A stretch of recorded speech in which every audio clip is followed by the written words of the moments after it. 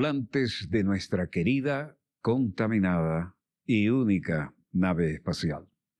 La misma que, desde la última vez que nos vimos por estos medios, ha dado otra vuelta sobre su eje imaginario y, por supuesto, sigue generando acontecimientos en pleno desarrollo, algunos de los cuales de última hora los tengo aquí. Y en ese sentido, vamos a recorrer nuestra querida y contaminada. Permítanme comenzar poniendo en evidencia algunos temas que son de palpitante actualidad. Hoy tenemos un tema en primer orden, ¿no? Las plataformas digitales informativas, que es un teatro de operaciones paralelo a la crisis real o a la guerra real, y la guerra no convencional. La guerra no convencional tiene como campo de batalla a toda la población, se afecta a todos se afecta su espíritu, su alma, su corazón, sus cerebros, va dirigida a sus neuronas. Y son consideradas como aplicaciones y herramientas de la guerra no convencional, oigan bien esto, las operaciones psicológicas para cambiar, torcer, quebrar nuestra voluntad, la guerra mediática, es decir, los medios que se prestan a hacer el teatro de operaciones paralelo o alternativo a la crisis real, la guerra simbólica, la fake news, es un término al cual hay que acostumbrarse. Los Big Five, Big Data y la psicometría. Todo forma parte de esa guerra dirigida a nuestras neuronas. Vamos a ver un extracto de, de video que forma parte de los acontecimientos en pleno desarrollo y que quiero compartir con ustedes. Esto que estamos viendo tiene que ver con eh, cómo se ha venido combatiendo en Nicaragua esta miserable guerra ejecutada en el escenario de los actos muy violentos de la oposición en esa hermana república. Carlos Fonseca Terán, entrevistado en este dossier, y jóvenes nicaragüenses de la plataforma digital Prensa Presidente. En Venezuela. digital Juventud Presidente. Eh, Mendy Pravia, José Vargas, Luis Elaya Darwin, Estrada. Y esta plataforma jugó un papel importante para la, revertir la acción de la guerra psicológica y mediática contra el pueblo nicaragüense en esta escalada de violencia opositora en 2018. Por supuesto. Se la jugaron muy bien y lo hicieron muy bien los muchachos. Eh, los jóvenes sandinistas aquí presentes son uno de los destacamentos mediáticos cibernéticos que tenemos en la lucha de las ideas y contrarrestando la guerra psicológica que ejerció eh, la oposición golpista en contra del pueblo nicaragüense. Estos muchachos han jugado un papel fundamental en eh, que el pueblo nicaragüense recupere su capacidad de analizar la situación, porque una de las cosas, a propósito de esto, una de las cosas de este modelo de golpe de Estado de nuevo tipo, es que a través de la guerra psicológica destruyen el sentido común y por lo tanto la capacidad de pensar en mucha gente a nivel masivo.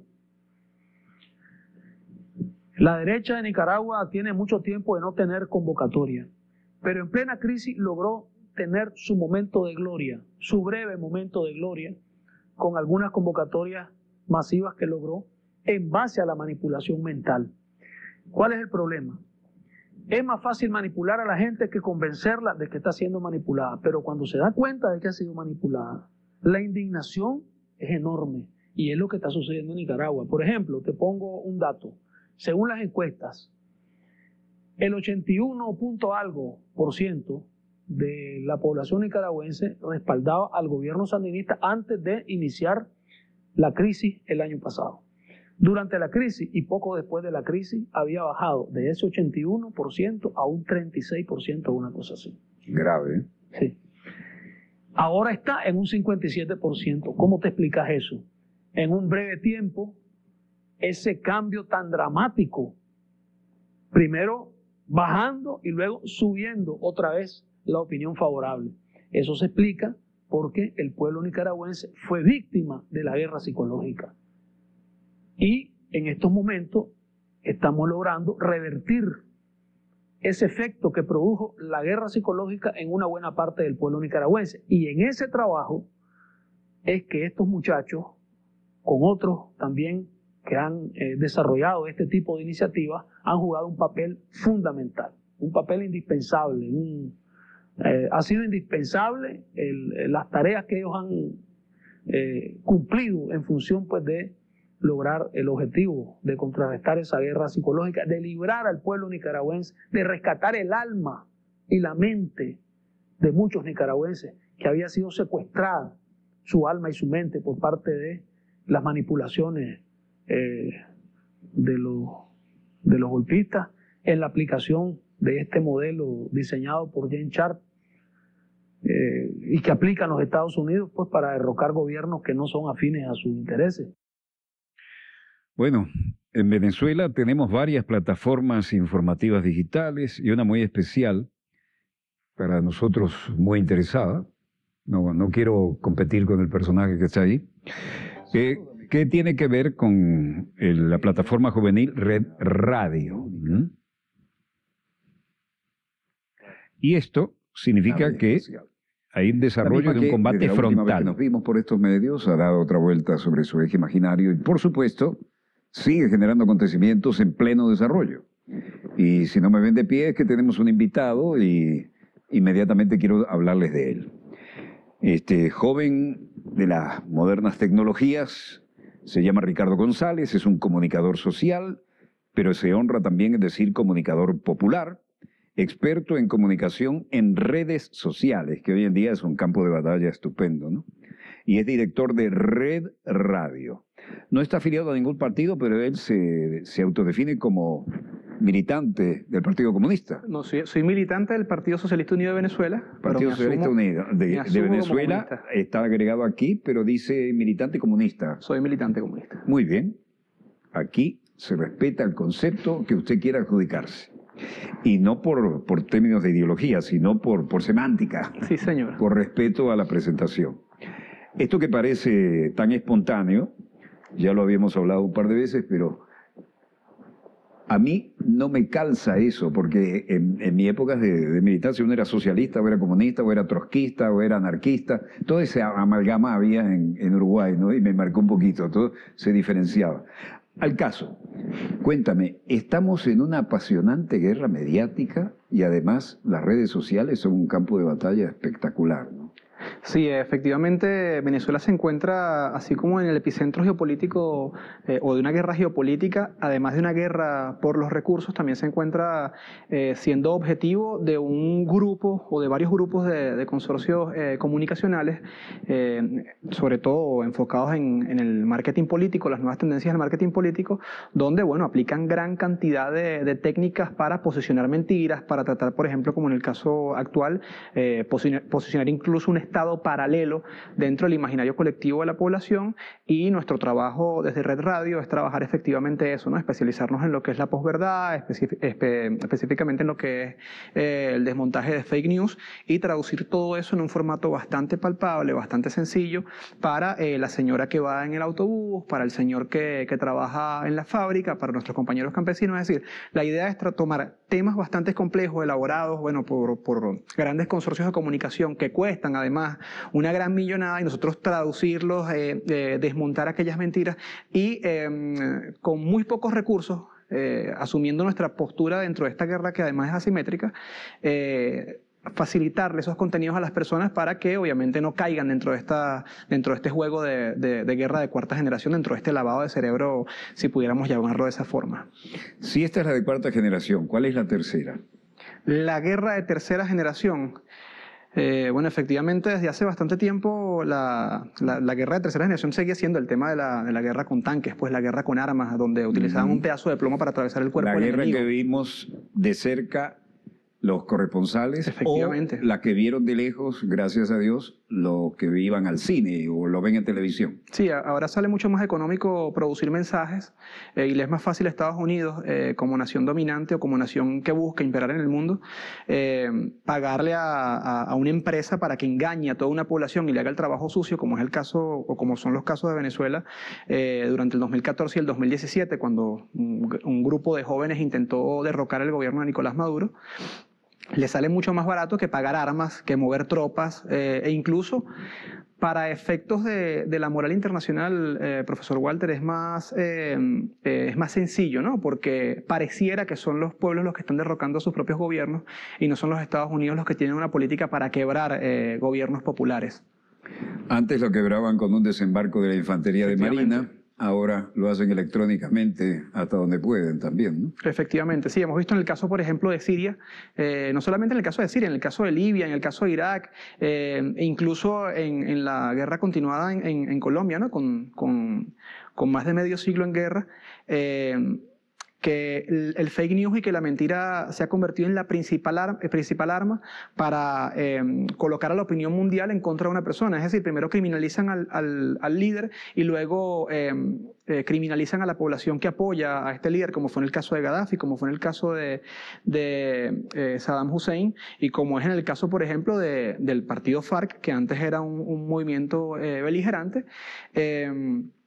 Y bueno, colocan a toda la población global en función de, eh, en contra de, de estos grupos eh, para que luego cuando ocurran cosas como la violación al Estado de Ecuador, con el bombardeo a, la unidad de Raúl Reyes, o como ocurran cosas como la violación del territorio venezolano, entre comillas, buscando tropas guerrilleras colombianas y todo este montón de cosas que se dicen a través de los medios, bueno, sean justificadas. ¿no?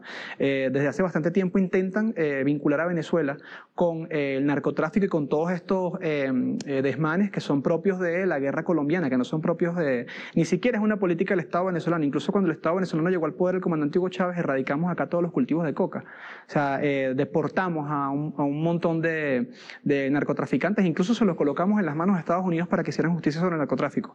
Pero precisamente todos esos temas son los que nosotros tomamos acá en Red Radio, eh, profesor Walter, y eh, los hacemos muy sencillos para la, que, para la gente, para que la gente lo, lo entienda. Y bueno, me gustaría que pudiéramos nosotros presentar, pues, qué es lo que nosotros llevamos a cabo y eh, cuáles son los materiales que nosotros eh, trajimos acá en obsequio para las personas que nos ven a través de la pantalla. Señor director, vamos a dar el apoyo audiovisual que nos ha traído nuestro compañero. Cuéntanos.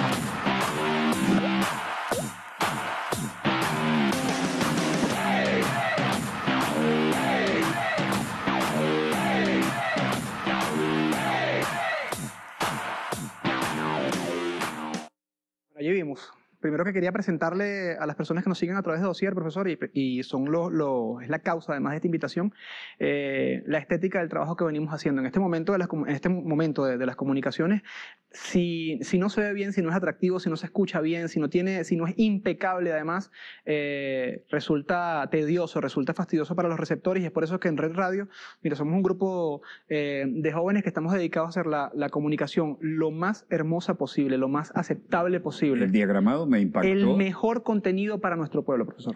¿Qué es la posverdad? La posverdad, bueno, eh, desde hace muchísimo tiempo los medios de comunicación han dejado de, mm, presentar noticia o presentar información a la gente y lo único que hacen es buscar emociones.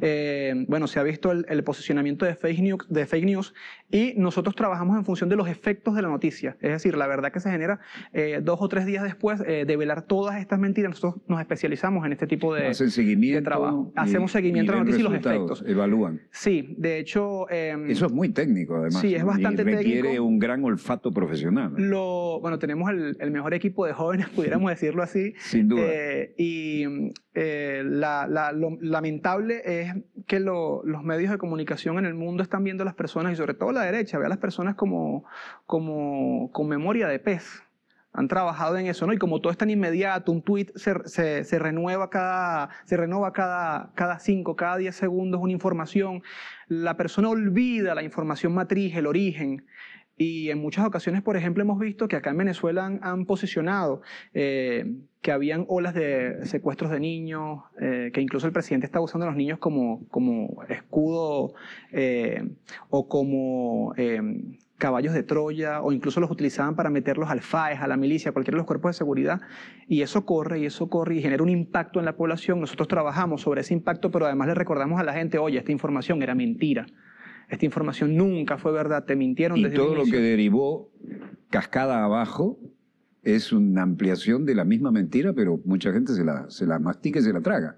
Efectivamente, profesor, desde el, desde el pasado 10 de enero, cuando ah, al al señor eh, Juan Guaidó, al diputado, se le ocurrió autoproclamarse como, bueno, el 23 de enero se, autoproclamó, pero desde que ellos comenzaron este reto eh, al Estado, nosotros trabajamos en, una sistematización de la mentira que denominamos la bitácora del fake news, así como la bitácora del capitán, que es eh, los capitanes de los barcos que se encontraban narrando ¿no? en una grabadora o en un diario todo lo que ocurría. Nosotros construimos esta bitácora de fake news que me gustaría que usted la viera, profesor, eh, para recordarle a la gente que cada día, cada día los medios mienten y siguen mintiendo y todas estas mentiras están enfocadas en qué? En plantear que Venezuela es un estado forajido, que Venezuela es un estado que, eh, que financia y que avala el terrorismo y que encima Venezuela es un estado eh, narcotraficante y todas estas mentiras apuntadas a un solo tema, nosotros las sistematizamos dentro de esta bitácora del fake news. Bueno, eso ha servido como pretexto para invasiones, ocupaciones y destrucciones de economías y de países, ¿no? Y luego, cuando se reconoce, ah, nos equivocamos. Efectivamente. ¿Y, quién, quién, rescata los miles de muertos y los millones de pérdidas en calidad de vida y en condiciones, ¿no? Nuestro objetivo es que la gente se dé cuenta que los medios le están mintiendo. Nuestro objetivo siempre ha sido defender la verdad. En la guerra, la verdad es la primera víctima. En la guerra eh, siempre llegan los Estados Unidos con sus medios de primero, o en el caso de, de Europa la OTAN, que ahorita tiene bastantes problemas, por cierto. La preparación del ambiente Preparan emocional. el ambiente, efectivamente. Efectivamente. Tenemos un, un video, me, me dicen. Sí. Vamos a verlo, señor director. 30 de abril, falsos positivos de la oposición. Número 3. Al amanecer, viralizan en redes sociales la frase Tomamos la Carlota Horas después, se develó el alzamiento de un grupo reducido de militares situados en la autopista y no en la base aérea.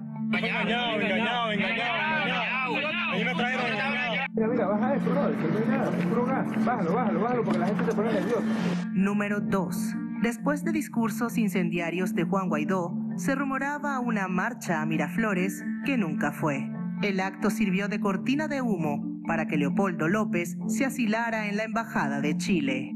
¿Nos podría decir eh, cuál es eh, el, mensaje? Porque usted dice que ya se acabó, que esto ya terminó, pero las imágenes continúan de la gente movilizándose. Hay imágenes que ven a Leopoldo López que está hacia el oeste, donde se van a movilizar. El mismo Leopoldo López le acabo de decir que está pidiendo asilo en la Embajada de Chile, no como usted acaba de decir, que va hacia el oeste, al frente de una columna para conquistar. Lo siento, está escondido en la Embajada de Chile, según las últimas noticias. Número uno. Durante toda la mañana, voceros de la oposición se jactaron de tener el apoyo de las FAN. No estamos solos, hoy están militares obedientes a la Constitución. Hoy se trata de resistir en este espacio. La ilusión se quebró con el pronunciamiento del ministro de la Defensa, Padrino López, y la posterior súplica de John Bolton de tumbar a Maduro. Figures like uh, Defense Minister Vladimir Padrino, commander of the Presidential Guard Rafael Hernandez Dalla, uh, all agreed that Maduro had to go. Uh, they need to be able to act this afternoon uh, or this evening to help bring other military forces to the side of the uh, interim president.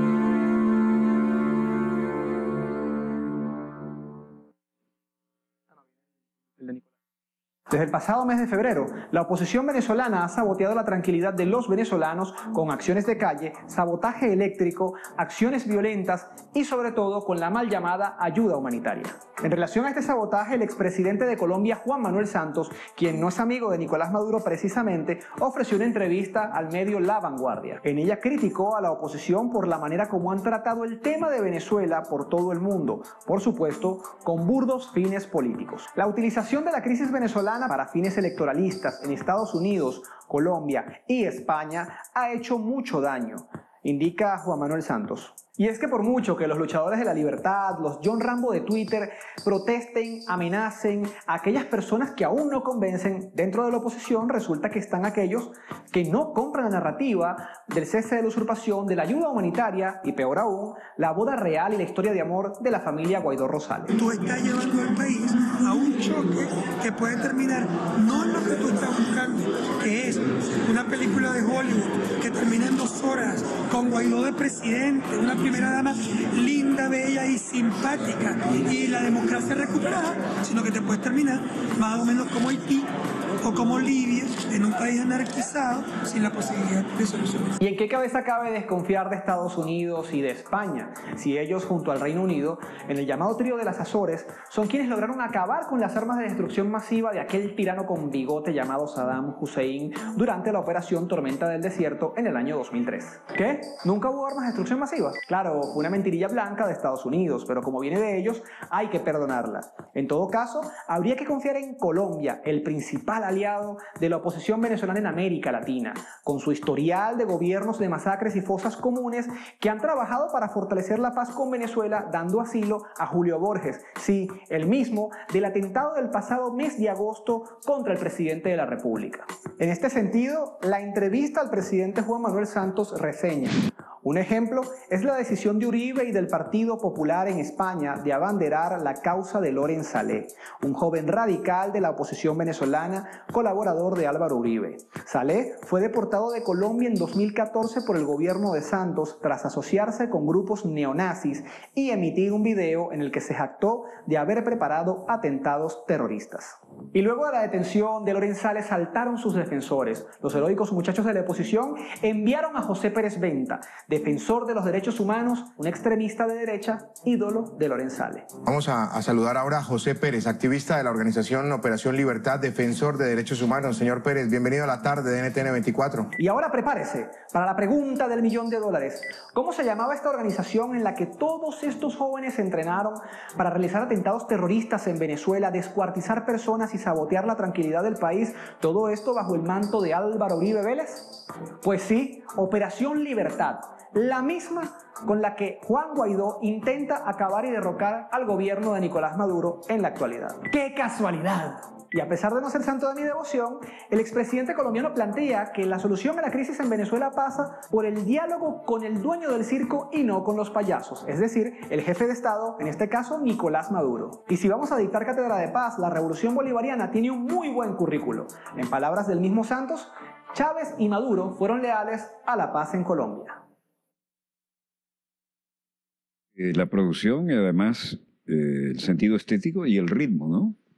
Te atrapa y difícil soltarse de eso. Sí, no, nuestro objetivo es que esto, esta información o esta, este preparado ¿no? de contenidos eh, llegue no solamente a, a, a, las altas esferas gubernamentales o que de repente, digamos en un ejemplo concreto, llegue al ministro, llegue a, al compañero, al comandante de tropa, llegue al general, sino que además llegue a la milicia, sino que además llegue a los estratos más bajos de la población. Y recuerdo yo el inicio que usted nos ha comentado, ¿no? el inicio de su trabajo, que decían que Dosier no iba a llegar muy lejos y precisamente estaba en todos los estratos sociales. Es el mismo objetivo que nosotros tenemos eh, en el caso de Red Radio. Queremos temas súper complejos, pero traducidos a todos los estratos de la sociedad y eso sí, con la mejor estética para que, para que no se despegue la gente de la pantalla. Sí, sí, su cita es correcta. En la anterior república me dijeron, con un programa así, si acaso te vas a quedar en la clase A, que ustedes sí subestiman al pueblo, ¿no? Lo mismo nos han dicho nosotros en Red Radio y, y, y, nuestro compromiso con la gente precisamente es lo que nos impide a, a, a parar. Eh, hemos logrado... Eh, hincharle allí la, la, paciencia, si pudiéramos decirlo de alguna manera, a, a varios sujetos políticos ya de la oposición, eh, no solamente dentro de Venezuela, hemos sido citados además por compañeros como Rafael Correa, ha utilizado nuestros videos en, su, en sus cuentas Twitter, y nosotros... Eh, nuestra, nuestra pasión es generar contenidos, porque el tema de las redes sociales, profesor Walter, no es solamente difundir, no es solamente ganar seguidores por ganar seguidores, sino además es el qué decimos. ¿Ok? Es como una especie de estudiante de comunicación social que no estudia filosofía, que no entiende la sociología, que no entiende además la historia, que no investigue absolutamente nada, se convierte en un mercenario para, para cualquier medio de comunicación y va a terminar con las mejores herramientas para comunicar, digamos en el caso de un mercenario común, con, con la mejor puntería, con el mejor tino, utilizando grandes armas, pero sin un sentido de defensa de los derechos humanos, sin un sentido de defensa de las causas justas. Nosotros eh, tenemos el mejor equipo, reitero, en materia de edición, en materia de investigación, dedicado a entregarle a la gente herramientas de comunicación para que esto, este tipo de videos, usted lo puede observar y, podemos colocarlo acá en, en, la mesa y hacer el estudio, eh, llegan incluso a los chats de, de, los compañeros de los clubs en, diversa, en diversas comunidades. Eh, pero además están en los compañeros del CEOFAM y están en los compañeros de la Fuerza Armada. Yo creo que estamos cumpliendo el objetivo eh, y, bueno, soñar no, no cuesta nada, pero trabajar y, y mantenerse es lo difícil. El CEOFAM y las Fuerzas Armadas. Efectivamente. Eso es mucho decir. Hemos visto, hemos visto nuestros videos en los estados de, mucho, de muchos compañeros de la Fuerza Armada y eso nos llena de muchísimo orgullo. Además, eh, ya nosotros contamos con, con corresponsales en, en, sectores, cada vez, por ejemplo, que hay una protesta acá en, en Caracas, eh, que es nuestro principal radio de acción, ya tenemos corresponsales y tenemos algunas personas por allí trabajando. Eh, mm, parte de, de, del material o de las fotografías que se lograron tomar dentro de, la, dentro de las movilizaciones de la oposición durante el 30 de abril. Es más, el desmontaje de que la, de que la agencia Vanguardia, y lo denuncio acá en dossier, de que la agencia La Vanguardia, creo que es español el medio, eh, grabara el, el, presunto arrollamiento que hubo del joven allí en la autopista y esa misma cámara luego giró y grabó un policía herido y no, no publicaron la información. Es decir, la misma cámara que graba el presunto arrollamiento gira luego y em, eh, ve, cuando, ve cuando le disparan a un policía nacional bolivariano y no grabó, el, no grabó el momento. Es más, las, agencias internacionales no tomaron ese video. Ese video lo tenemos en prueba y lo hemos presentado. Pasa de un evento, panea, hace foco en el otro y el otro lo ignora. Exactamente, lo ignora, exactamente. Y eso, bueno, eh, eh, está público y notorio en, en, en en YouTube, en la cuenta de la agencia, nueve horas de grabación. Nueve horas de, grabación corrida. Y no aparece. No aparece, no fue denunciado en ningún lado, porque precisamente eh, parece que los periodistas que responden, obviamente, a estas líneas editoriales de oposición o de derecha, o que, o que, o que son las que fomentan pues, la idea de, la intervención militar en Venezuela, no le interesa eh, eh, que un funcionario de la Policía Nacional Bolivariana o de la Fuerza Armada Nacional Bolivariana se muestre herido en una movilización, entre comillas, pacífica. ¿Cuántas horas me dijiste de continuas? Son nueve horas de grabación continua. Nueve horas de grabación. Nueve horas de grabación continua. Estuvo esa cámara encima del, del, del, edificio en Altamira. Grabó, o sea, grabó la, la, la, autopista, el presunto arrollamiento, que después se desmontó con un video de un compañero de acá venezolano de televisión. Luego esa cámara hizo zoom back, giró y grabó cuando hirieron a un funcionario de la Policía Nacional Bolivariana, mientras el muchacho tomaba agua, por cierto. Yo estaba allí en el, en el, en el sitio, estaba a pocos metros del funcionario. Entonces, ese tipo de cosas que nos dice, necesitamos un grupo de comunicadores, necesitamos periodistas que tengan sentido de la defensa de la verdad, esencialmente, que tengan sentido de la defensa de los derechos humanos, pero no los derechos humanos de la OEA, no los derechos humanos de los Estados Unidos. Y necesitamos eh, periodistas que estén casados con, con, la, con la lucha justa del pueblo de esa, de esa defensa eh, por la verdad, digamos, eh, eh, creo yo que la base es que el, periodista plantee la, su verdad más honesta, ¿no? Porque un tema de perspectiva, de repente usted pudiera decir que esta taza no tiene asa, ¿no? Porque está parado justo en el sitio donde el asa no se ve. Pero hay periodistas que mienten y la verdad allí omitió, omitió una vida, omitió un disparo a un policía. La, vanguardia, perdón, omitió un, un disparo a un policía y eso no se puede hacer, eso es antiético. ¿Alguna reacción a eso o siguen caraduras en el curso de acción? Nosotros en Red Radio mostramos el video. Eh, fue tomado por varios programas de la televisión venezolana, pero el medio no presentó ningún tipo de denuncia ni nada. Bueno, hay un creciente movimiento en esto, ¿no? Ustedes están siendo la vanguardia de una alternativa informativa que le debe molestar mucho a los ciertos grandes medios y ciertos sectores. ¿Cómo se manejan en ese campo? Eh, Amenazas, presiones. Lo primero es, sin, miedo, sin ningún tipo de miedo. Eh, lo que nos motiva a, nosotros es que en, la lucha cotidiana la gente que está resistiendo las sanciones, doctor Walter, eh, mira, la, la, vive bastante duro. Nosotros en el caso eh, de Venezuela, actualmente intentan sancionar los clubs. Y yo creo que la labor más heroica que debemos resaltar en Venezuela son las señoras que se paran bien temprano y los señores que se paran bien temprano a buscar la caja, a esperar el camión. O sea, así como nosotros catalogamos de heroica la lucha del movimiento campesino y la lucha del movimiento obrero, la lucha que hace el pueblo de Venezuela para resistir a las sanciones es enorme. O sea, eso, debe quedar en los libros de historia. Ojo, este es un pueblo acostumbrado a tener todo y, de buena calidad y saben por dónde apretar para tratar de quebrar la moral de un pueblo y que se subleve o que estalle. y sin embargo no lo han logrado. Sí, no lo han logrado y, creo que parte de, de esa lucha heroica es lo que nos motiva a nosotros a no caer ante ninguna provocación y ante ninguna amenaza. Ya en una oportunidad nosotros tocamos eh, los intereses de un, de un, artista reconocido que ha sido bastante eh, frontal contra el presidente Nicolás Maduro. Eh, y bueno, se publicaron las direcciones de compañeros, se publicaron los rostros de las personas que están detrás de nuestra organización. Pero eso no, no, no, no, igual como ha ocurrido con la compañera Eric Ortega, Eric Ortega Zanoja y los, los ataques a, su, a sus cuentas de redes sociales. Eh, Además, Erika desde una verticalidad y una honestidad probada. Efectivamente. Y canta buenísimo.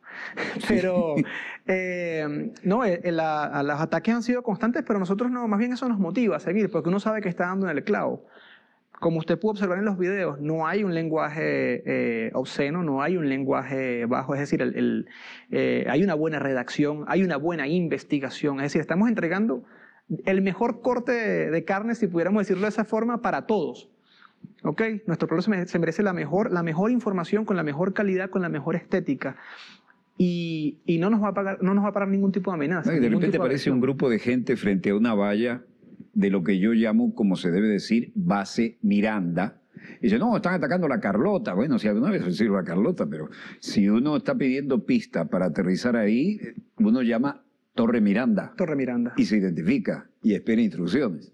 Es decir, es la base Miranda y además es un homenaje a, un prohombre del cual yo soy un profundo admirador, sin quitarle nada a Bolívar. ¿no? Hubo medios que incluso plantearon que era la base naval de la Carlota.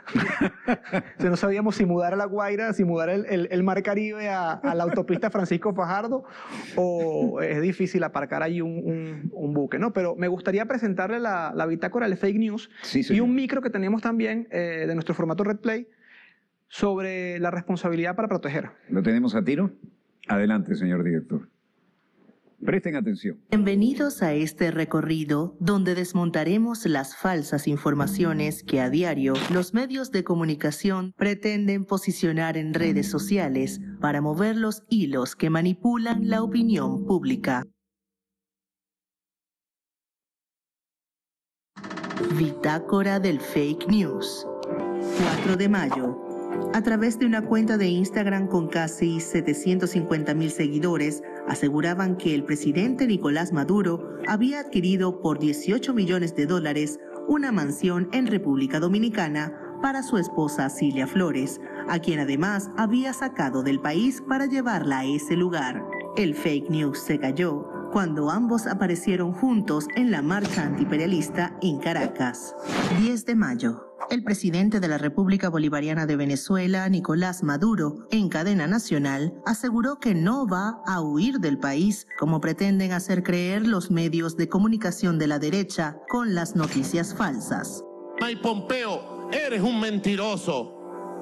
Jamás Bajo ninguna circunstancia me iré del país, me rendiré, ni jamás traicionaré al pueblo. Siempre daré la cara, siempre iré de frente luchando. Jamás me rendiré. 13 de mayo. Se posicionó en las tendencias de la red social Twitter la etiqueta Elecciones en agosto. A pesar de no haber ninguna voz oficial al respecto, se desataron los demonios en las redes que se volcaron en críticas contra el gobierno por supuestamente haber realizado esta nueva propuesta electoral. 13 de mayo. Periodistas de Malta usaron sin verificar datos infundados de fuentes estadounidenses, quienes se refirieron a fuentes anónimas o a una presunta interceptación de mensajes de diplomáticos rusos, donde se planteaba una supuesta planificación de compra de gases lacrimógenos y demás aparatos para dotar a la policía de Venezuela. La noticia fue desmentida por el Ministerio de Relaciones Exteriores ruso a través de un comunicado. 14 de mayo, el presidente de la Asamblea Nacional Constituyente, Diosdado Cabello, denunció las intenciones del presidente colombiano Iván Duque de haber ido a Estados Unidos a decir que Venezuela tenía vínculos con el Ejército de Liberación Nacional de Colombia. El fake news se develó con las declaraciones de Pablo Beltrán, miembro de la Delegación de Paz y del ELN. Bitácora del Fake News. Tras las terribles guerras de Bosnia, Kosovo y Ruanda, en la ONU se llegó a la conclusión de que la norma internacional era insuficiente para proteger los derechos fundamentales del ser humano. En el 2006, el Consejo de Seguridad de las Naciones Unidas aprueba la resolución 1674 sobre la protección de civiles en conflictos armados. Y así nacería la doctrina R2P, o mejor conocido, responsabilidad para proteger. Pero, ¿para proteger qué? La doctrina para proteger tiene la finalidad de justificar la intervención militar extranjera, contrario a la norma del derecho internacional público, incluyendo las Naciones Unidas. En nombre de la doctrina responsabilidad para proteger, se enviaron tropas de mantenimiento de paz para Sudán, Libia, Yemen y recientemente Siria en el año 2002. Ahora, nos preguntamos, ¿ha cumplido esta doctrina imperial con el principio básico de proteger los derechos humanos de la población civil? ¿O en cambio, esto ha sido un instrumento de naciones poderosas para detonar crímenes de guerra y destrucción de los Estados-naciones? Las conclusiones están a la vista.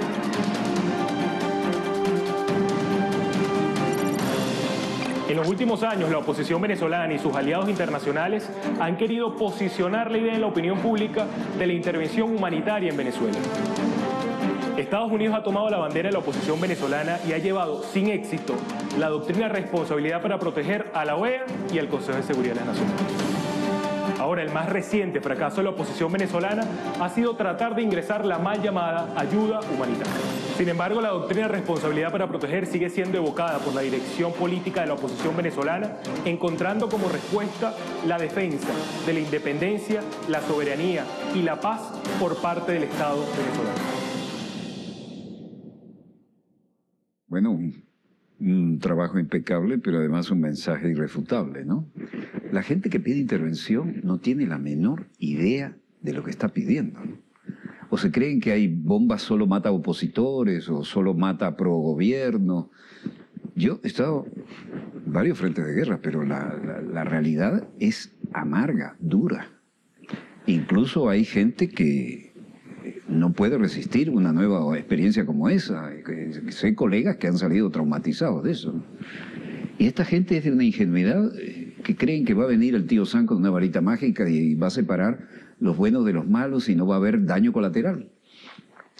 El, es lamentable eh, que hayan personas. Daño que... colateral es un gran eufemismo, ¿no? Claro. Es decir, todos los que van a morir aplastados por las mismas bombas que están pidiendo. Sí, señor. Y, para, y le están pidiendo para el otro y le van a caer encima.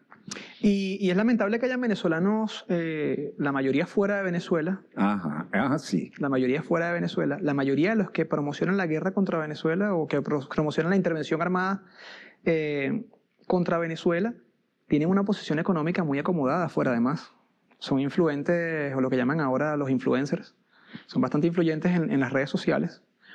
Eh, y no sufre ninguno de los, demás, de los desmanes ni siquiera del sistema capitalista. O sea, no están pasando trabajo, no están trabajando como obreros afuera. Es decir, son personas que se jactan de hablar mal de Venezuela, de hacerse famosos por ello y que luego eh, viven de la publicidad que les genera eh, ese posicionamiento.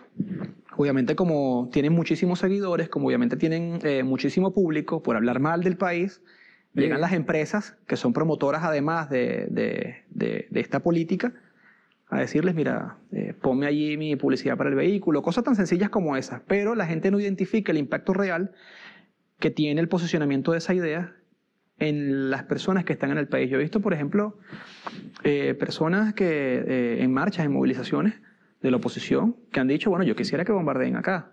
O sea, yo quisiera que sacaran a Maduro como fuera, como Allende, que le bombardeen el palacio. Y el palacio de Miraflores está rodeado de, precisamente de la población de Miraflores que además no es precisamente privilegiada, ¿no? Claro, no. Y, y, y, qué va a ocurrir, por ejemplo, en el caso del 23 de enero? ¿Van a desaparecer el 23 de enero? Como ocurrió en Panamá con el chorrillo. Bah. Ahora, ahora el tema Yo, ni siquiera mira, es... lo de Panamá, quiero dar un testimonio. Yo entrevisté al general nacionalista y, y, estaban todos los medios de comunicación estadounidenses porque sabían que venía la invasión. Y me acuerdo que dijo, no, a ustedes no les voy a, a, a responder, a él. ¿Por qué general? Bueno, porque él no pertenece al club de los mal informadores como ustedes. Le agradecí y me vine. Cuando volví a pasar, no existía nada wow. del superedificio del comando. las viejas casitas típicas de las postalitas de, de madera bellísimas que había. Nada, tierra arrasada. Pero cuando te digo tierra arrasada, nada, aplanada. Una cosa monstruosa. Esta gente quiere que las bombas van a matar solo a los chavistas o algo por el estilo. Precisamente eh, la guerra no llega de un día para otro, ¿no? Es un proceso además. Y ni siquiera el escenario de preguerra es algo que nosotros deseamos para el país o que, o que, o que la, la oposición más radical de ultraderecha, incluso si fuesen neonazis en este caso, no deberían desear para el país. Porque ¿qué ocurre antes de la guerra? Lo que estamos viviendo, bloqueo económico. El ablandamiento, El y- el aplastamiento psicológico. El, el bloqueo económico, la destrucción de los servicios públicos ¿eh? para el tema del, del posicionamiento o la, o la- para generar desestabilización en la población, la guerra psicológica. Y cuando le suba la atención a la mamá y no haya medicamento, ¿a dónde va a ir? Y cuando le dé un infarto a la abuela, ¿a dónde va a ir? ¿Y cuáles son los efectos de las sanciones, doctor Walter? Y ahí están en la calle tratando de, de- de atribuirle esa, esa situación, por ejemplo, de no conseguir algún medicamento, o lo que está ocurriendo más, más recientemente, que es el tema con la gasolina y los diluyentes. ¿Por qué no hay diluyentes en Venezuela? Ya lo explicaron allí. ¿A dónde fueron los bloqueos? A PDVSA, a Citgo. No, pero Nos robaron robaron. Nos robaron. Citgo. Citgo era la mayor empresa en su campo y era un símbolo de costa a costa en Estados Unidos. Bueno, pero ahí estaban ellos mismos aplaudiendo. Qué bueno, se llevaron Citgo, qué bueno, bloqueamos a PDVSA, qué bueno, no sé qué más, y al día siguiente estás molesto porque no hay gasolina. Pero si tú pediste que te bloquearan. Pero si tú pediste que te... Entonces, ¿qué va a ocurrir en este caso? Pide un bombardeo ayer y después ocurre como ocurrió con el señor que ayudó a derribar la, la estatua de Saddam Hussein, que decía una declaración a CNN, yo quisiera que Saddam estuviera vivo y que estuviera acá. La guerra no es, no es una, bueno, en, en una visita que hice a, a Nicaragua, en una oportunidad un compañero taxista que, vivió la guerra nicaragüense, era soldado sandinista, era, era mili- militante, eh, guerrillero sandinista, me decía, ¿no? Que eh, el que llama a la guerra no la conoce. Y el que la conoce obviamente la respeta, se prepara para ella, pero la respeta, la evita. Porque sabe que el problema no es nada más para uno, es para todos, es para todos. Y es lamentable, insisto, que haya venezolanos, la mayoría fuera de Venezuela, en posiciones acomodadas, y es más lamentable los que están fuera de Venezuela echándole un camión, porque yo respeto el tema de la migración, pues te quiere ir a, a echarle, a intentar en otras tierras, está bien. Ya que nombras Nicaragua, ¿sabes lo que vi yo? Esto no me lo contaron, lo vi yo allí. Un caballo, mataron un caballo en una esquina, lo estaban cuereando y la gente desesperada por llevarse un poco de carne de caballo a su casa. Eso fue lo que generó la intervención. Eso fue lo que les dejó cuando aquello funcionaba muy bien. Eso es lo que quieren. Tal- no tienen la menor idea de lo que es un frente de guerra. No, y y lo, lo terrible es que la guerra ni siquiera, o sea, pues Estados Unidos y, y la OTAN siempre trabajan las guerras fuera de, de sus fronteras, ¿no? Claro. Pero- La idea es que la guerra sea alejada de nosotros. Sí, señor. Nosotros somos la retaguardia y lo vemos antes en cine y ahora en televisión. Pero resulta lamentable, por ejemplo, como el caso de- del atentado en Lyons, en Francia, que llega un momento en el que una organización terrorista más loca que el que la financió, porque para nadie es secreto que John McCain estuvo involucrado en, el financiamiento de grupos como Al-Nusra en Siria y que estuvieron involucrados en el posicionamiento de Al-Qaeda dentro de Libia, que venga eh, un grupo más loco que el, idea, eh, que el ideario imperialista de Estados Unidos y la OTAN y les devuelva una de esas bombas que ellos le financian a casa. Y ocurren tragedias como la que ocurrió en Francia. Nadie quiere eso y, y- y yo destaco acá y, y saludo el- el- y apoyo además el planteamiento del presidente Nicolás Maduro a constante diálogo. Todo problema, todo conflicto tiene que llevarse en el campo diplomático, para eso se creó el derecho internacional. Hay para eso se crearon las normas hay además normas, del hay comercio procedimientos, internacional. hay arbitrajes. Si nosotros resistimos esta, esta amenaza como pueblo, eh, porque más que, más que gobierno, como pueblo, si resistimos esta amenaza, eh, la- yo creo que esto va a ser una derrota eh, no solamente económica y política. El tema emocional para los Estados Unidos va a ser peor que lo de Vietnam, que para ellos no hubo mayor eh, eh, derrota, bueno, de repente comparable al caso de Somalia, ¿no? Con la derribación de, del Black Hawk cuando en, en- en televisión nacional se vio cómo, cómo acabaron con, con esa tropa que, que trató de incur- incursionar en Somalia. Eh, creo que la derrota moral para Estados Unidos va a ser catastrófica. Además, eso sumado a lo que está ocurriendo hoy con Huawei y con China, que han intentado evitar que, China se posicione tecnológicamente eh, como la vanguardia en el mundo, eh, diciéndole, bueno, mira, Huawei ya no, no, no, negocia más con Google, o sea, no hay más compatibilidad, se acabó la compatibilidad para Huawei, y llegaron todos los consorcios norteamericanos y le dijeron, Epa, no me toque a Huawei porque yo tengo negocio. y más bien en China, los mismos eh, patriotas chinos están deshaciéndose de la tecnología norteamericana para comprarle tecnología a Huawei, que es lo bonito de todo esto, que mientras Estados Unidos busca acercar, mientras Trump específicamente, y, el grupito del de, equipo de, Ronald Reagan, que es lo que lo rodea, oh, Ronald con su vieja, con su vieja el política. Invento más, el, el, el, muñeco del ventríloco más logrado hasta ahora. Sí, Porque hasta los libretos había que escribírselo para ver qué tenía que decir y le prohibían, no se meta con eso porque usted no sabe, no improvise, ciñase al libreto. Usted está en Hollywood otra vez. Sí, mientras, mientras Trump con, este, con esta camarilla precisamente que, que le rodea, John Bolton, eh, eh, eh, Mike Pompeo, el mismo Marco Rubio, que, que no, no, ha sido más que un, bocón. Sí. Mientras ellos sigan llevando esa política de asfixia... para la Florida, pero no para Washington. Mientras ellos sigan, sigan llevando esa política de asfixia, yo creo que los pueblos y los gobiernos del mundo van a generar nuevos métodos de supervivencia. Por ahí hay un montón de, de, por ejemplo, el negocio entre, entre el yuan y, el, y la moneda rusa, eh, la alianza entre China y América Latina. Mientras sigan intentando asfixiar, los pueblos y los gobiernos se le van a escapar de las manos como la arena de la playa. No tienen idea. Mira, yo conocí China en la década del 70. Eh, los colegas de la Asociación de Periodistas de China le había llamado la atención el programa, me invitaron y dijeron con esa sencillez, si usted pudiera ayudarnos a pagar el pasaje sería una ayuda. Si no puede, no importa. Estamos a 4.30, ¿cómo no iba a poder? No? La, la mejor inversión que hice. Y cuando llego allá, la gran avenida de la Paz Celestial, la más grande del mundo, a las 7 de la mañana, yo lo he contado alguna vez esto, un tsunami de bicicletas y a las 5 de la tarde, 6, otro tsunami de bicicletas del trabajo a la casa. Bueno, ahora no caben los carros último modelo y no han puesto un chino en la luna porque no, no tiene sentido, ¿no? Pero si quisieran hacerlo, lo hacen.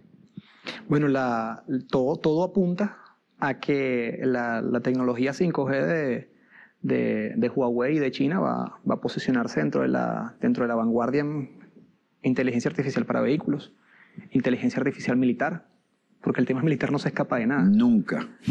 Inteligencia artificial para eh, la producción de alimentos, hay, un juego allí eh, bien interesante eh, de guerra tecnológica y Red Radio no se va a escapar de, eso. Seguro que sabremos reinventarnos para entonces. ¿Tienes algún material más de apoyo? No, eh, lo, que sí quisiera es invitar a la gente que nos siguiera a través de las redes sociales, arroba Red Radio BE, en Instagram y en Twitter. Dilo de nuevo lentamente. Arroba Red Radio VE.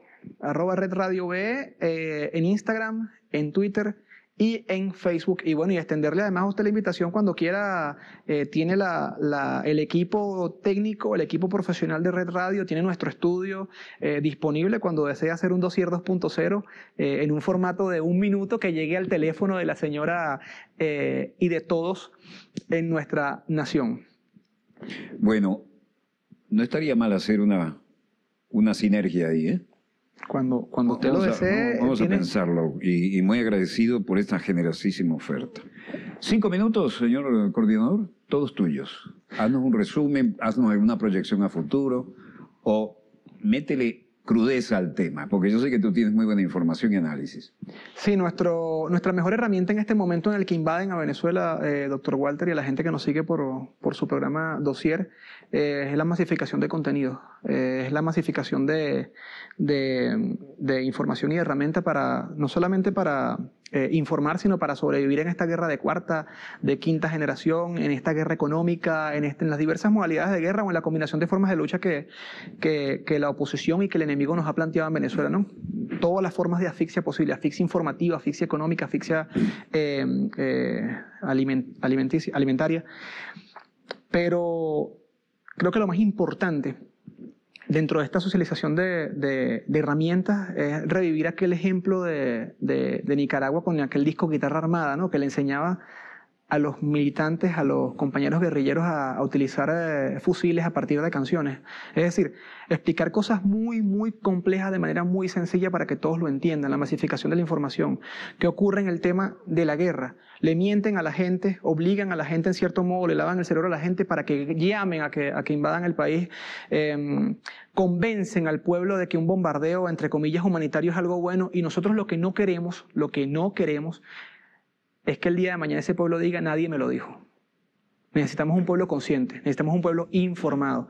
Y nos encantaría de verdad que este proyecto no nada más se quedara acá, sino que nuestro sueño como, como, como, eh, como equipo de información, como organización, eh, es convertir a Red Radio en una gran escuela de comunicadores para que no solamente seamos nosotros los que hacemos este tipo de materiales, sino que sean todos los jóvenes dentro de las universidades de comunicación social y que además sean los jóvenes que están dentro de los diversos programas sociales de la nación que sepan hacer estos contenidos, porque además la guerra es territorial. Y como dicen por allí, bueno, Caracas no es nada más, eh, Venezuela no es Caracas nada más.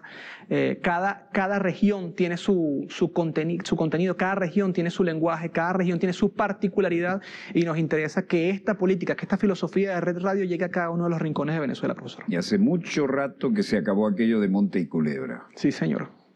Bueno, yo me siento agradecidísimo. Quiero que cierres el programa. ¿Cuánto nos queda, señor eh, coordinador? Dos minutos, un mensaje contundente de esos a la juventud y además a la tercera edad también que tienen tiempo para entrar en la computadora. ¿Qué, qué, recomendarías? Bueno, les recomendaría... Porque los medios de comunicación ya sabemos en qué mano están y para dónde van, sin generalizar, ojo. Mire, una, una, una, situación como la que vivimos actualmente, o en cualquier situación, incluso la, la... Nadie dijo que hacer la revolución era fácil. Y como creo que es Lenin que decía que las revoluciones, eh, solamente en los libros se hacen las revoluciones en cómodas autopistas. Eh, en cómodas autopistas. El, el, principal trabajo es no rendirse, no rendirse. Y una vez escuché en un foro en Argentina que nosotros somos invencibles no porque las ganemos todas, sino porque más bien no nos rendimos nunca y hay que buscar todas las formas de replantearse. Yo estoy seguro que vamos a vencer en esta guerra económica, que vamos a salir de todas las dificultades y vamos a salir fortalecidos. Y esto es una promesa de vida que le hago a, las personas que nos siguen a través de Dossier. Nosotros vamos a derrotar al adversario político en este momento. Trump se va a ir con el rabo entre las piernas, eh, no le vamos a dar la guerra que, que, están buscando. Es que él quiere ser comandante en jefe, viene con el cargo, pero ese energúmeno no está capacitado para tomar esa decisión. Es un sueño húmedo que tiene Trump. Pero yo estoy 100% seguro que los vamos a mandar a todos al basurero de la historia y vamos a seguir construyendo esta nación. Como decía el general Artigas en los peores momentos, y si no tenemos hombres, pelearemos con perros y marrones. Efectivamente. Bueno, Dios te bendiga, hermano. Que la, los cristianos también tenemos a Dios rogando y con el mazo dando, ¿no? Sí, imagínese. Disponga usted de la cámara, señor director.